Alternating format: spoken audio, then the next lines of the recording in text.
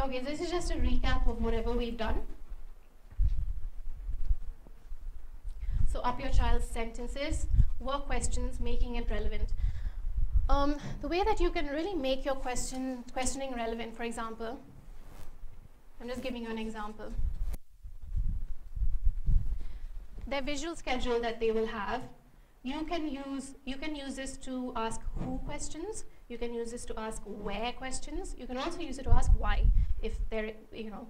And when you're asking them, um, so for example, they are they will be used to their routine. They'll be used to seeing these pictures after a while and they'll be used to hearing these words. So you can ask them where are we going next? Are we going to school or are we going home? So they will be able to say home. So you can use your schedules that you have. Think about how um, what what you're doing in your life what your what your activities are take a note of your activities and see how you can make that visual enough for your child to use that as a as a language game for them or to use that as a conversation um, starter with them. So for example, the school board, the mall board, the grocery shopping, um, I've done sand play boards, water play boards. What is your child motivated by? Now I know um, you're probably thinking you don't know how to make the boards because they look quite complex and I have the software to make it, but you as parents obviously, you don't have the time and you may not have the resources obviously. Um, you can make simple boards at home. You don't have to make such complex ones like I've done. Uh, other than that, if, you're, if you all want to pool in and someone purchase it, I would strongly recommend it because if you have a child who's on the autistic spectrum, don't underestimate the power of the visual. So it's, it's going to be a real worth, worth it to invest in it. Um, okay, I'm going to be sending this to you um, through email. I've done a list of resources and games that I use in my sessions, um, which you can have at home and you can maybe purchase immediately. I'll be sending it, I'll send it on your email. Um, so it has the resource, the purpose, and how to use it. Um, so yeah, I've got all the so we first started off with sensory, then we've got like different resources, puzzles and animals and uh, you, things that you can purchase immediately and use immediately with your child. Okay, because a lot of the times you're, you might be lost, you know, might struggle, where do I start? So, okay, that's it. Thank you for listening. And uh, if you have any questions, please let me know.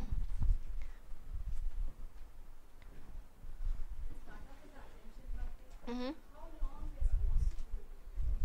Okay, so I have quite a few items in my box. I would recommend starting with just three items and each item play with it for one minute. So you've got three minutes of attention and keep increasing like every week you can put one more item in until maybe you've got uh, five items and your, your child is able to sit and engage for five minutes. So that's a smart goal, yeah?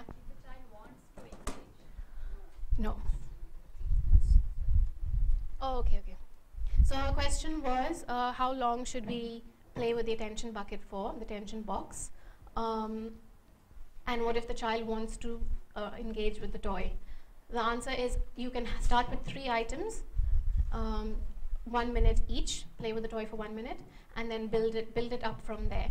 If the child wants to grab the toy, that's actually a good sign because that means that they're interested in the toy but by you, um, so you won't stop them. So if you are the one engaging with the toy, the second adult will have to come in, um, put them back. If there's no second adult, all you will do is non-verbally, you'll just place their hands back on their lap and guide them to their seat. Don't tell them, sit down, listen, I want you to, your language has to be very simple, very clear, be calm, don't, um, don't uh, make the child more anxious than what they already are.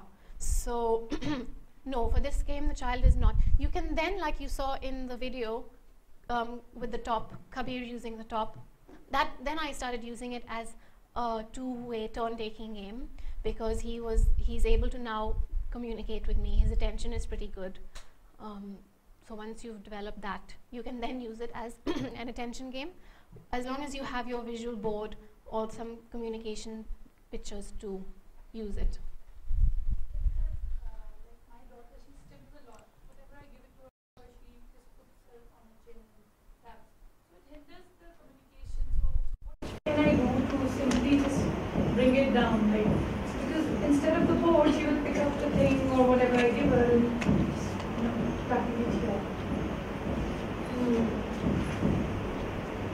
her.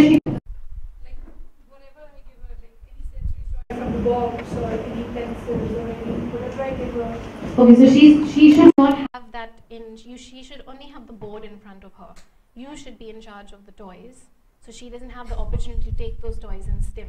So when she says I want Yeah. this, then I have to give You have to give her. If she wants to stim, let her stim. And if she If she is stimming, obviously that means there's some sensory need over there. So you'll have to take her to an occupational therapist and see what the issue is. But yeah, when she's communicating or when it's a turn-taking game, like you noticed, I had the control of the toys. I didn't just give it to the child. It wasn't laid out there for them to grab. So they had, you have to provide the opportunities for them to communicate with you.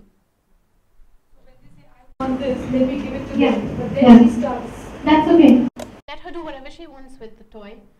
Um, you can maybe gently guide her. You can have a, a toy in your hand, but I think with you model the play, model the play with her. If you have a second toy, you can squeeze the ball or stretch the slinky and see if she will imitate that.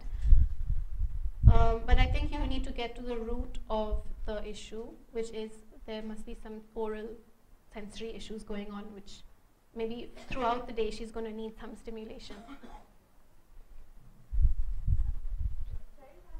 The uh, teeth and lips as you told. But might uh, they won't uh, move the lips or won't use the tongue properly. He know how to speak kind of few words. Uh, but if I force him to force or like if I and he didn't understand very immediate, then he'll uh, tell it clearly. But still he won't move the lips. I need to force, uh, force him or uh, he should be in a condition of like, if he's be in a position that okay, if I won't tell them clearly then don't give. Do I need to force him or like it will come in the, how old is your child? He's five years old. Is he, is on the spectrum, autistic spectrum. Um, does he communicate like everything? Not uh, like it will be two words and like just kind of two phrases and some in sentences but only the names. so what? More pressing for you, his speech clarity or his communication?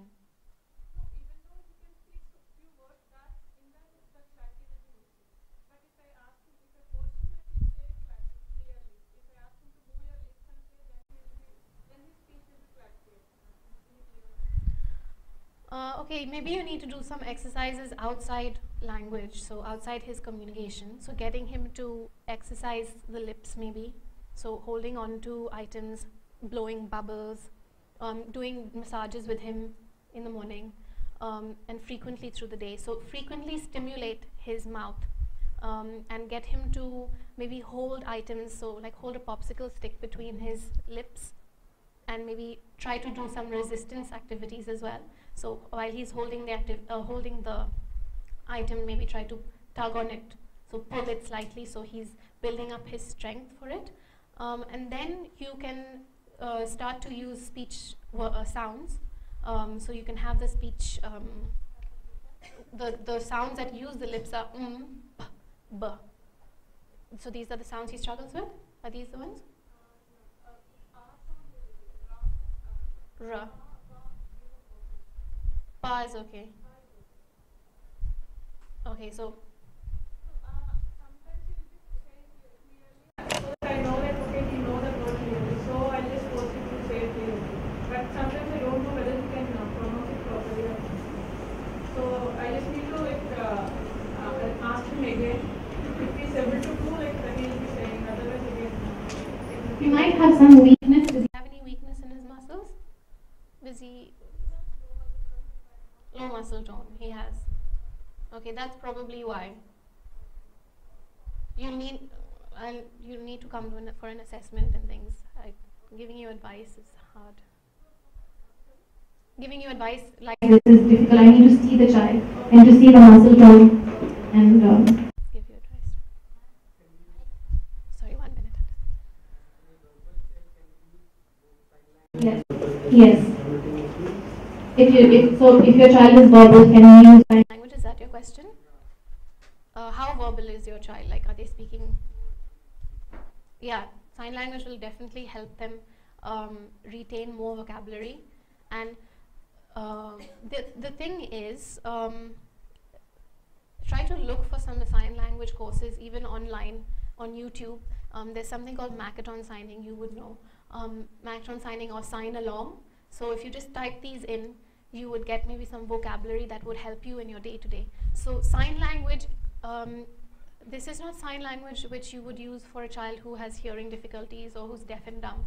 This is language, sign language that's being used with even a typically developing child or um, a child who has a language delay because what you're doing is you're signing and you're saying the keyword as well. So for example, if it's a sentence like get your bag, you're not saying, you're not just doing this. You're using the word along with the sign. So the child is grasping both at the same time. So get your bag and sit down. Okay, so um, that'll help their sentence structures, it'll help their memory, and it'll, yeah, it'll definitely help her expressive. Sorry? No, not at all. Not at all. It won't prevent anything. In fact, it, it supports language development. My five years old daughter, she repeats, if I speak in, ask in Hindi, she doesn't. But if I ask in English, she repeats the question, then she replies. Okay, she's more. uh, Comfortable in English? Hindi. But if I ask something in English, then she repeats the question, then she gives reply. in. Hindi or English? Hindi. She does. So you ask the question in English or you ask. It in Hindi. Both Things I use. We speak in Hindi. Whether it's in school. Okay, so What she's doing is when she repeats the, she replies as well. She gives the answer? Yes. So That's fine. Like, what is your name? Then she says, what is your name? Then she gives a reply. Oh, okay, so she's learned it as a rote. Um, okay, so she sometimes that could be a sign that they're processing the question so them repeating means that they're trying to understand what you're asking of them sometimes it could be a learned behavior which this sounds like it's a learned behavior where she um, repeats the question so again that could be resolved maybe by using visuals so you'll have the visual of the question what is your name and then you'll have the choices of the answers down below. So when you're asking her the question, what is your name, you're immediately directing her to the answers rather than her um, looking at the or listening to the question or repeating the question. Do you understand? So you'll have the you'll have the visual description. What is your name? With maybe some symbols that you can use, and then choices of answers. So your daughter's name and maybe mama, and you give her a choice. When you give her the visual choice, her mind is automatically uh, going to um, be focused on choosing rather than repeating the question. So in time, if you keep repeating that, then you can take the choice away, the second choice, and you can just have her name underneath. So she'll understand what is your name is the question, and that's the answer. So I don't have to repeat that. The answer is right then. Then you can take the visual away, eventually.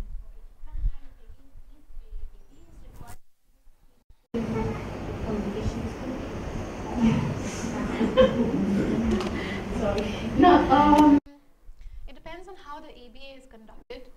Um, I, I, I've seen a lot of children who go to ABA who have uh, really terrible behavior sometimes um, because a lot of the time they are forced to do things. Um, the parents are not sitting in on the sessions, so you don't really know what's going on in the ABA class. Um, and they're just generally very frustrated. So I don't know in Hyderabad how good the ABA is. On the other hand, there have been parents who have, you know, really benefited from it. Um, uh, from a, from uh, I've read up on uh, children who have had autism and who've now grown up, and they've given their verdict on ABA, and they said it's horrible. Don't ever put your child through it. So from they've grown up now and they're verbal and they're able to, you know, type it on a computer or say, uh, you know, um, tell you what they they felt. And they're like, you know, when we're not robots. Children who have autism are not robots. So why are you asking them in the middle of a game, touch your head, touch your shoulders, eat this? Okay, so they, from their point of view, I don't think they enjoy it very much. When you make your language more natural and you see them as a child that is struggling to communicate and they need some support, um, that's where you get real time engagement. expresses his needs, requests. Now he wants to talk to many people but doesn't get the words. He ends up repeating little bit of whatever he knows. So for the communication, but what can I think of? I don't know what has happened, what he wants to say. How do I help him? I mean, communication boards or initiate. What does he thinking? I have no idea. He come and look at me. He wants to talk, but the words don't come out. Then he will end up saying same thing. The light was turned on. We went to hotel. We went to restaurant or something. But there's so much more he wants to talk, Yeah. and I don't. I don't know how to help. Would, uh, So what you could do is um, go through your routine again, see where the places that you go to, or, or, or what are the things that he, the places that he likes to go to. Pick those, pick two or three topics, and then think of the vocabulary that he might be saying. Do you do you have any inkling of what he might want to say? So usually. Okay. He went on vacation. Okay. Maybe those places is what he wants to talk about. but you, you should be going to those places, but talking about it. Don't just randomly take the board out and start talking about the ocean. I'm trying to say make your visuals as relevant to what you're doing. It has to be a tactile experience for them to talk about it in the first place. So if it's something within your routine, like if he likes the park or if he likes sand play or water play, that's something that a board that you can develop. And think of the vocabulary around that activity, um, and try to try to see if he can use the board to expand his sentences to, yeah, to expand. Commun- Sorry? What's the use of it? it has, So it has about uh, 30,000 vocabulary on it, on the software. So any visual that you want to make, any social story you want to make, any sequencing, so all the visuals that you saw on the screen are done through communicating in print software. So you just, what you, all you have to do is type the word in and the visual comes up immediately. So it saves you so much time going through the internet, searching through the visuals, you know, that's, as parents, you don't have time to do that. Um, but if you have this, did that answer your question? Generated, uh, with the child understand with general activity and the real activity, what the child does in real life. The computer generated pictures, will they be able to hold it? Uh, It depends on where you're, so usually in the beginning, if your child is really, um, uh, quite low functioning at the moment and not engaging, very low attention, I would tr- I would use real pictures. Okay, I would put real pictures on the board. Thereafter, I quickly move them onto symbols because symbols are universal and symbols can be used in many different, things. Don't also try to think of um, in the future functionally. Uh, you want your child to communicate with as many communicative partners as possible in their school, in their uh, in their park, in their friends or whatever. So um, symbols would be better to move on. But if your child is very low functioning, start with real pictures, their own objects. Take pictures of their items, their own items.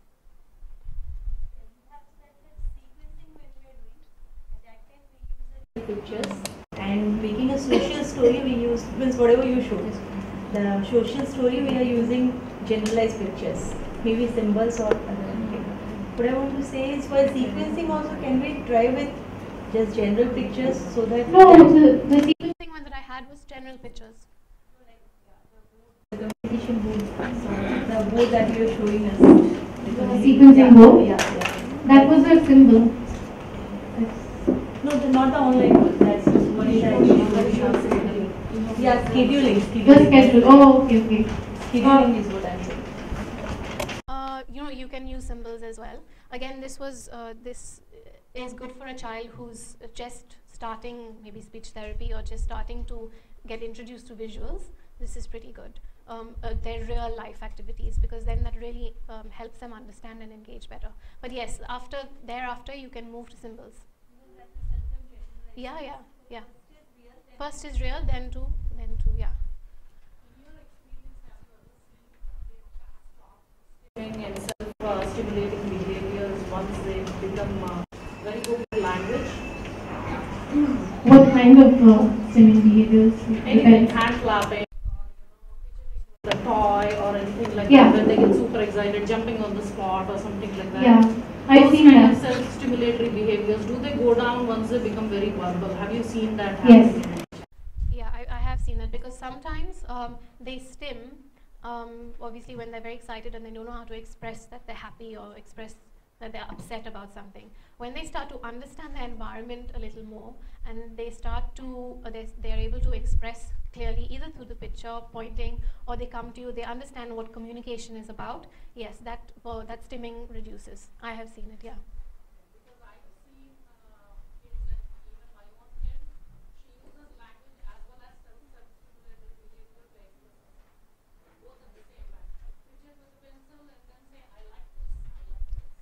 Okay.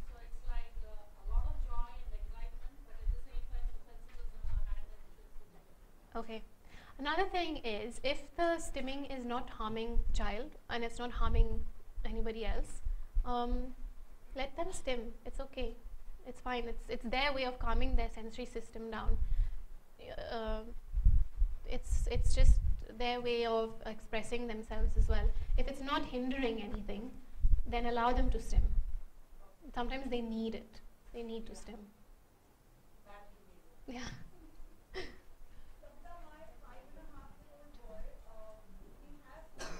Producing the speech sound, he had a problem during birth. Okay. So his understanding is at par.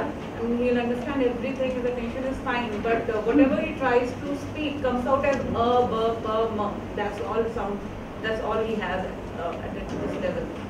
So what can we do to you know help him? So he has only sounds at this level, no words.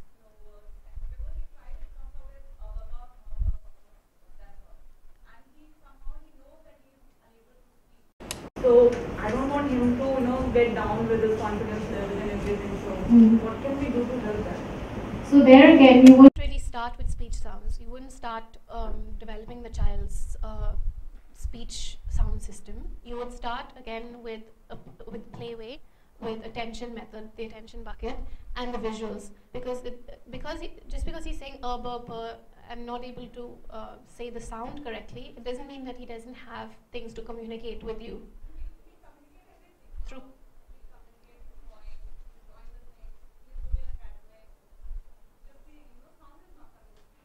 Is he is he diagnosed with autism or is? Oh, okay. And how old is he? So he is going to need some AAC, which is alternative augmentative communication board. So he's going to need some visuals to help him express, put the words together, and in time that will also help his verbal expression. So at this point, don't worry about his speech sound system, um, because I feel at five and a half he's probably got a lot to express, but he's not been given the opportunity maybe through boards and visuals and things like that. Has he? Have you ever done things like that with him? Visuals. Yeah, so he's probably got things to communicate with you. Don't worry about the speech sound clarity or um, the the boards will help him understand. The boards will help him uh, uh, express through pointing. Later on, he might start to try to say the word and point. point, and then once he tries to start, uh, once he's got more comfortable and he's got more vocabulary, and he, he starts to say the word and attempts, then you can start with speech sounds.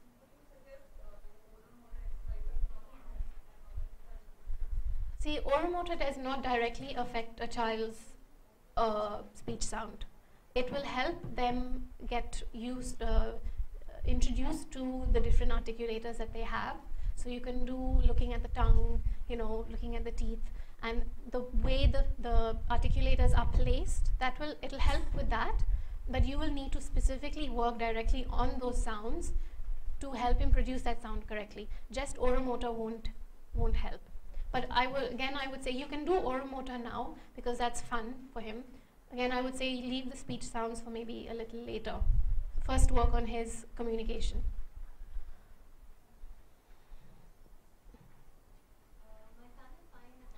And he's at a sentence level.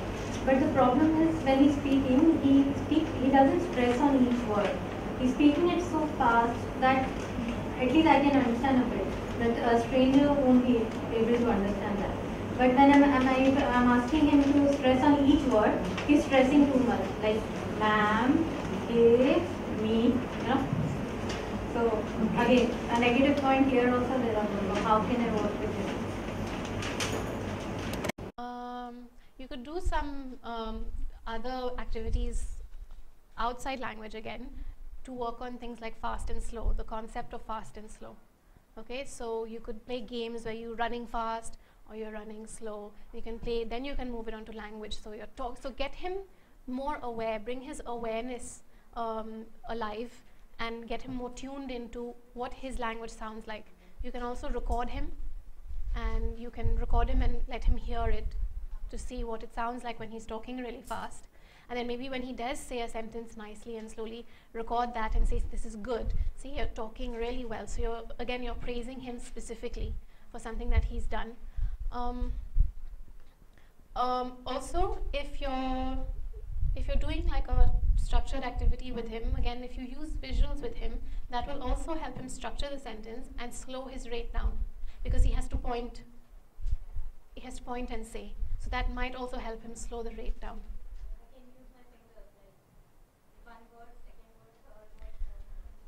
You could do that, but to make him to make him more independent, a board would be more useful because then it, the responsibility is on him to point and say the word. So as he points, he needs to say the word.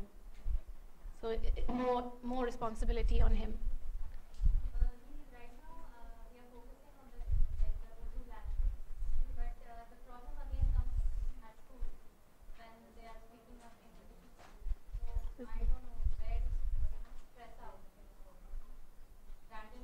How old is he? Um.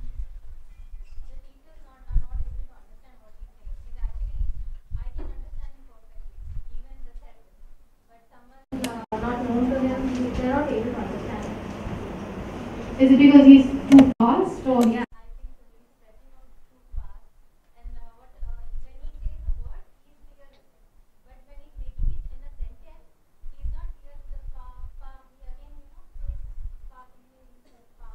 Oh.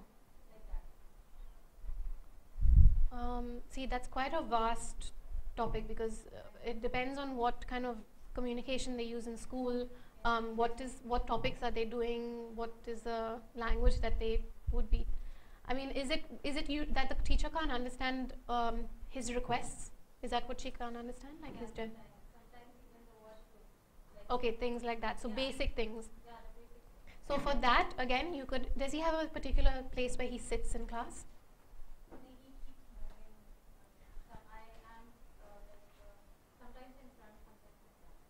Okay, every child that has a language day, make sure you're telling the teachers my child has to sit in the front.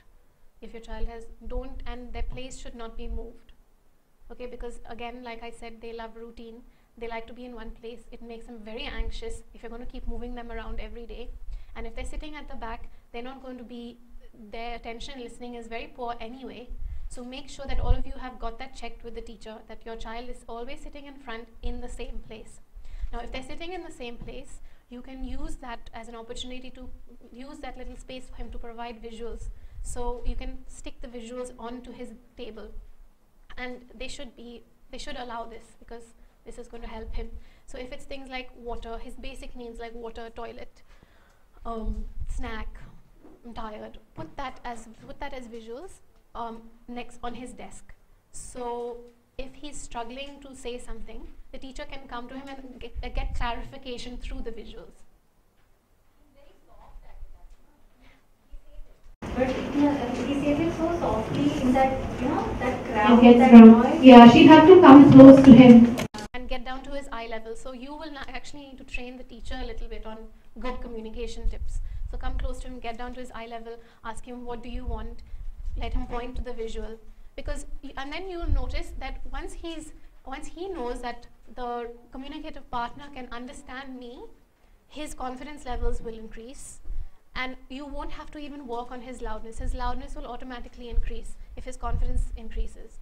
If it doesn't, then you can work on the concept like loud and soft recordings, um, getting him, you know, tuned into what loud means, what soft means.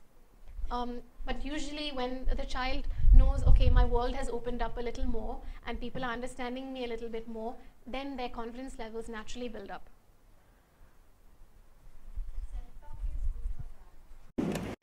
Um, self-talk. When do they do it? when they're alone.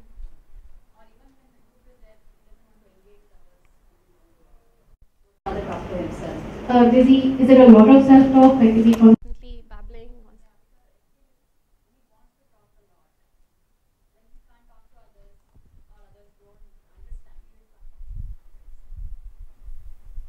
See, self-talk when he's on his own is fine. How old is he? Oh, okay. So self-talk on his own is okay, but self-talk in a group maybe not so. And um, you can use a social story for that. So you can tell him sometimes when you do not understand or you know when you're not able to listen, sometimes you start talking. We will try to do this, this, and this. We will try not to do talking or turning away. So you use a social story for that and see if it'll help him. So make what can he do? Yeah, he can you know um, quiet or or say I don't understand. Can is he verbal? He's verbal, right? So he give him the things that he should say. Or uh, yeah, so say I need help. I don't understand, or be quiet. So self-talk in a group is something you can work on a social story with him. Avaz or any alternative communication methods and when do we use it if the child is verbal and non-verbal and whether it's whether it helps or hinders communication like it helps obviously but when when do we decide that we have to introduce it now or how should we- So if you've never done Any pictorial or visual support with your child, don't start with an iPad or any technic, uh, technology with them. Um, like I like the the one of the slides said that um, you have to engage your child. So just keep just putting the app in front of them and letting them press randomly is not going to help their communication. Now, Avaz can be used with a nonverbal child as well, but as long as you've started with physical pictures first and they're comfortable in pointing to those pictures first before you move on to pointing because then you'll put the app in front of them and they'll keep swiping, they won't use it functionally. And the app must be um, uh, used where, where they are getting some, it, where you're communicating, you're engaging with them. Okay? Yeah. Yeah, yeah, yeah. If they're able to point and, yeah, you can use that. the level of if, if the child is verbal or non-verbal nothing like that we can use if the child is verbal, you wouldn't necessarily use Avaz. Um, because Avaz, if there's no sound, yeah, then they can just use it. But I found, I find that, um, don't in my experience, technology actually sometimes hinders the child's communication.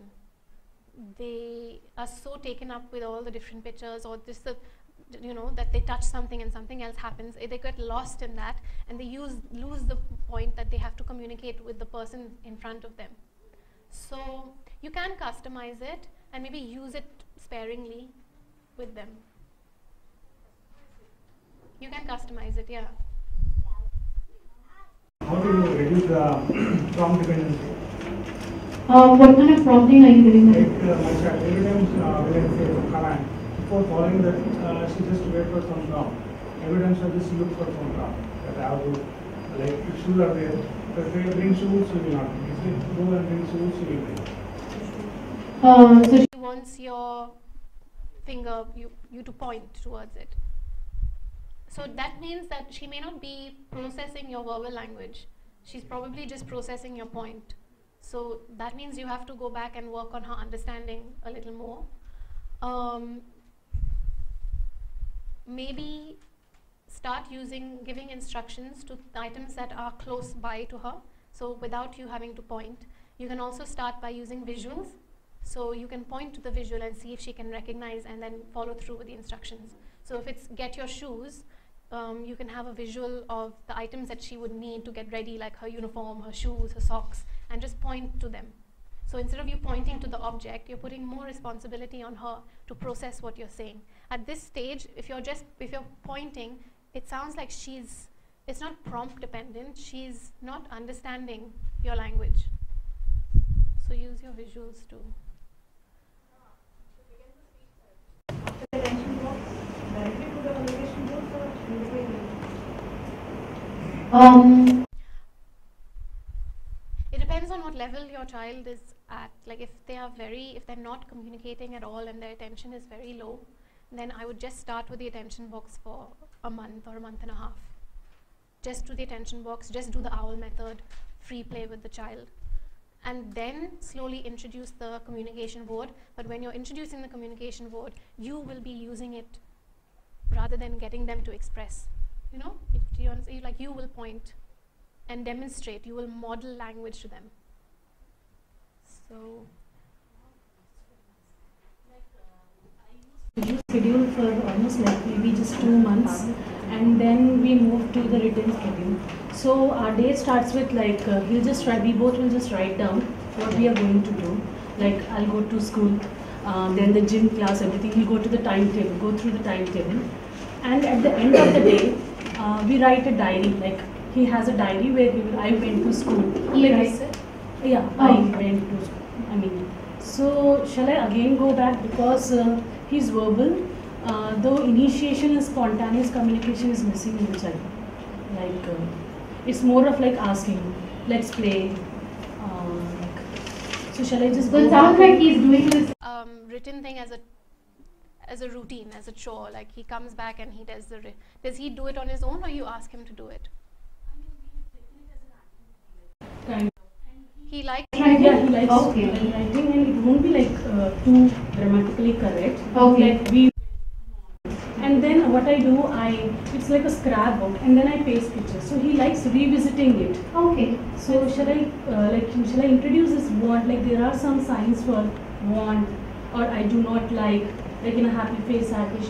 Shall I just go back again because uh, the child is still at the man and the intro like you know kind of intraverbal level. Um, so for example, for this, can you get some information from school about what he enjoyed doing. You shadow him. Oh, okay. So like he is very much present in the class, but I see there is no initiation. Like there is joint attention with the teacher, following the class routine, classroom routine. But uh, like no initiation with uh, play with this, uh, his classmates and also no spontaneous communication like or the spontaneous uh, spontaneous communication is like mom apple amma uh, juice like it's just like he'll just point his needs? yeah uh, needs and like you know all of a sudden a green ball so like so like should i just go back How, again? how, sorry, how old is he's seven Seven. Um, if you're shadow. Could you maybe introduce? Um, could you maybe take a few children aside and do like some with him and the other children, like taking them? Do they? Does he know their names? He knows all their names. Now he knows their names. So if if you are allowed to, maybe you could take um, videos if you're allowed to take videos or pictures, and then talk about that with him at home. Um, and then maybe you could give him like a task every week. So you could have one child helping him with his lunchbox or like sitting with him. So have like a buddy system. Um, and you could have a goal.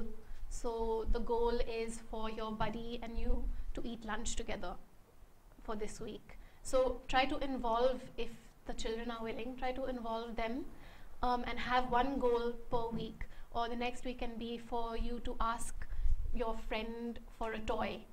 Um, or to ask to, to play with him on the slide, to do turn taking on the slide.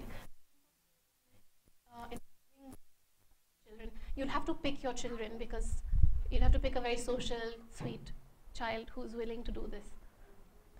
So it sounds like he- just needs a little bit more encouragement and direct structure to um, play with other children, initiate in his class. So give it, a, and you can, if he can write and he can read, have that goal written out for him. This is your goal for the week. So you're putting that responsibility on him. How many more? Yeah, I think we. Maybe one last question and then we. You. And then he repeats everything whenever he wants anything. That time, if I ask him to say few words, he will repeat those things. But other than that, he will not speak anything. He will just blabber himself. Self-talk. How to Um, encourage him to speak on need basis or something, whatever he wants. you want him to, uh, so he's not really telling you his needs at the moment even? No. So like hungry, toilet, I want water, not not at that level even. Okay, so and your child is four and a half, you said? Four years. So again, how would you encourage him through visuals? Like my the whole basis of this presentation, I've just been reinforcing visual, visual, visual, engage, engage, engage. So you would you could you could get an idea of what his needs are, what he would usually ask for, and have like a board up in your house with the visuals on them. So maybe you can start with just two visuals at a time so he can make a choice. If he's not at that level, take just use one visual and um, get him to maybe point to it. Um, see, picture exchange, um, the PEC system, I feel there's not much carryover usually because it's very difficult for the child to take the picture off and they don't do that because some of them have motor difficulties. Sometimes if they can just tap or point at it, um, then they're able to they're able to um, uh, they're able to kind of um, tell you their needs faster. It's a much faster process of communication. So uh, think of his needs and make them visual, and you could introduce that. Um, you could you could have it as a small board at his eye level, uh, and introduce one picture at a time. So keep increasing the board. So start with one, then start with you know give him a choice of two. Do you like do you want to go to the toilet or you want to eat? Um, is he verbal?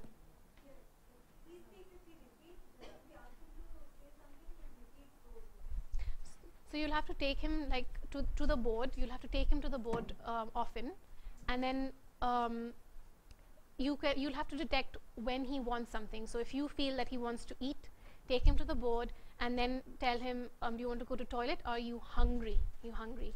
So then he'll know that okay, this hungry means I get to eat. So uh, think of his daily schedule and the times that you would he would want to initiate that communication and at that time take him to the board and get him to communicate through the visual. Then then you can take the visuals away later because he will start to automatically spontaneously say it. Tell tell you his needs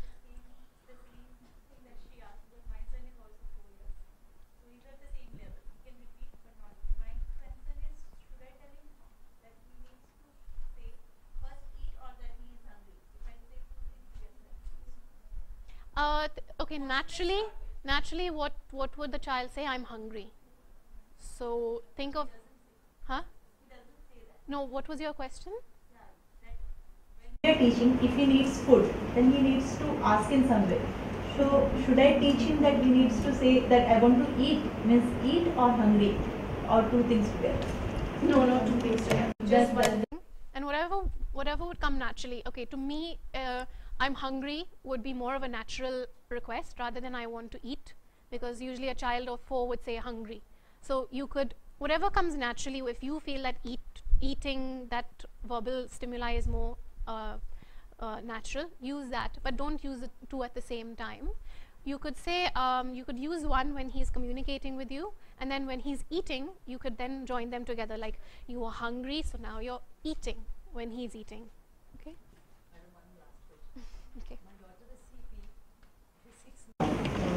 Brother six years behind my birth. So she didn't take any feed, her uh, jaw was unbroken. She is able to understand four languages. Uh, but only few words she had. Papa, Baba.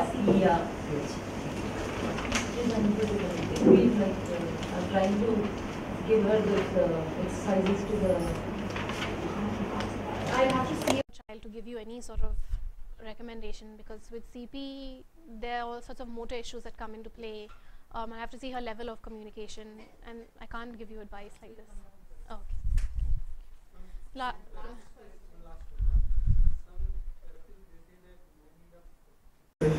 speech therapy, it's a part of English.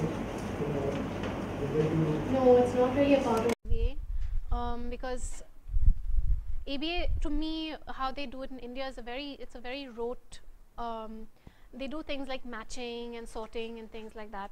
Whereas speech therapy would work on more of their functional communication at home. And the parents are very much involved in the session. Whereas with ABA I, I know that the parents sit out of the session to my knowledge. They're not involved.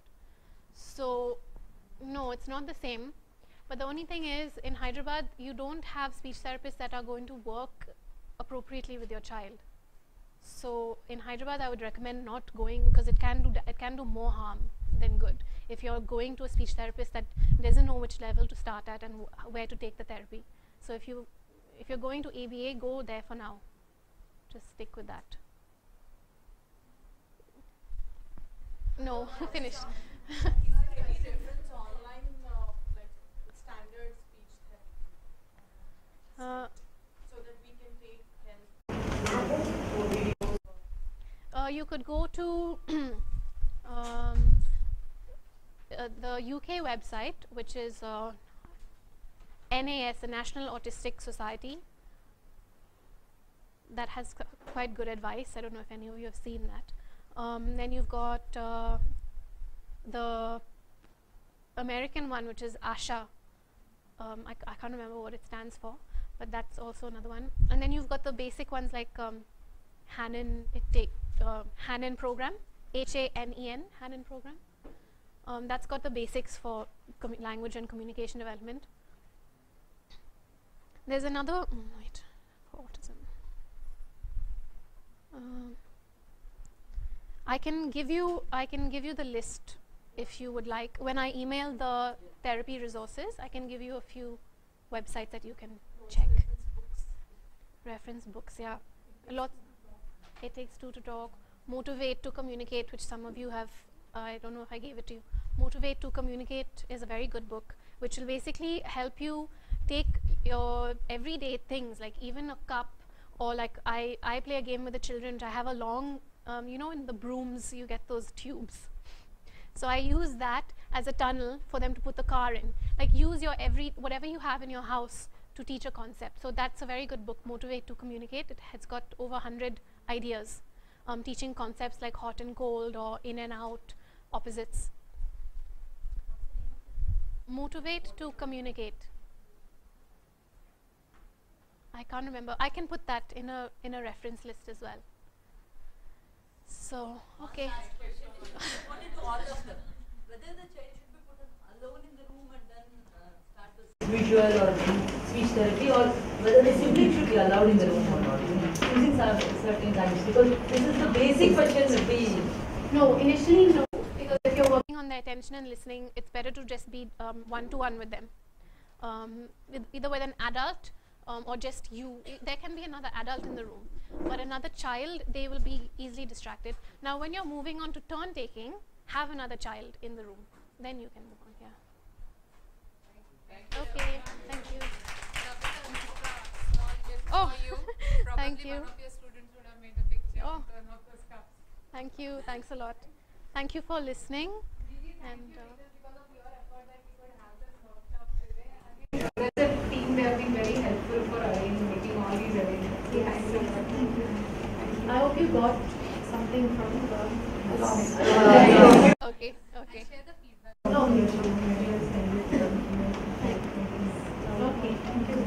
Thank you so much. Thank you. And please stay engaged and those folks who are not on our WhatsApp group or on Nayi Disha site, please register and you will have many more programs.